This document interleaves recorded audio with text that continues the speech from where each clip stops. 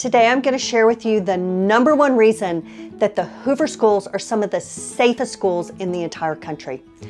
Every single Hoover school, including each and every elementary school, the middle schools, and the two high schools, each have their own dedicated police officer. These officers are stationed in the school. They get there before the first bell ever rings and they stay until after all of the after school activities. Each and every school. Isn't that astounding? And Hoover High School and Spain Park each have a canine dog. These dogs become part of the family in these schools. The kids all know and love the dogs. And not only do they serve a purpose for occasional drug sniffing of lockers, but they serve as more of a bond between the law enforcement community and the students, helping them understand that the police officers are there to help them and to be their friend.